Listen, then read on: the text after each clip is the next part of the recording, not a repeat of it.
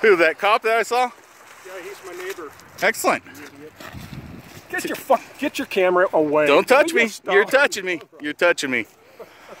You guys, you guys know better than that, right?